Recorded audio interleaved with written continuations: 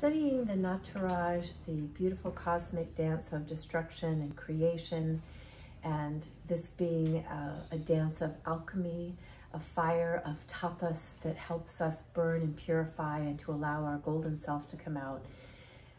I'd like to also share the story of the phoenix, a mythological creature that lived in paradise and after a thousand years in paradise, he decides to rise up to the clouds and as he does makes a great screech in this haunting sound as the sun god is coming across the sky, stops to see the phoenix and hear what is the sound and a spark from the sun comes down into a feather of the phoenix and ignites the phoenix on fire up into flames and burns to ashes. And from the ashes, a new phoenix in three days is um, is recreated and, and this beautiful phoenix again rises up to paradise to live for another thousand years.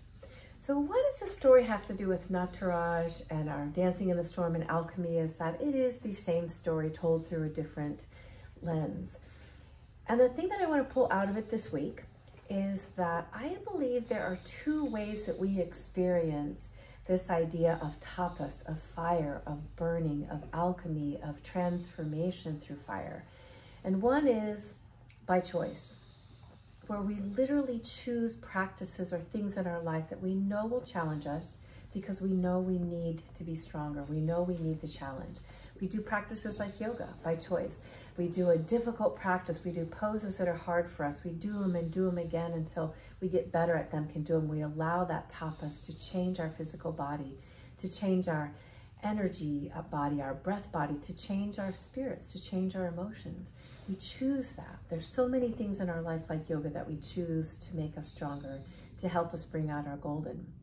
But in life, as we know, there are storms that we never choose, that we feel maybe chose us or that we just happen to be in the line of fire, right? Maybe we feel that way about what's happening um, on the planet right now with the literal fires that we have had going on. We feel that way with the pandemic.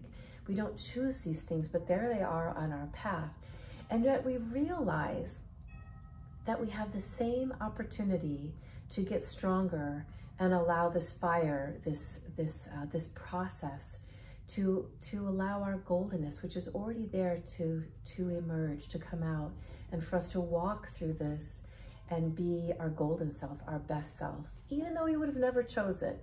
Again, my, my point for um, conference this week is to look at both of these, that there are the things we choose that make us stronger and the things that we don't choose, but that they have the same potential to give us that strength and grace um, as we dance through life with these things. So Stay tuned uh, for more on the uh, alchemy and the beautiful phoenix.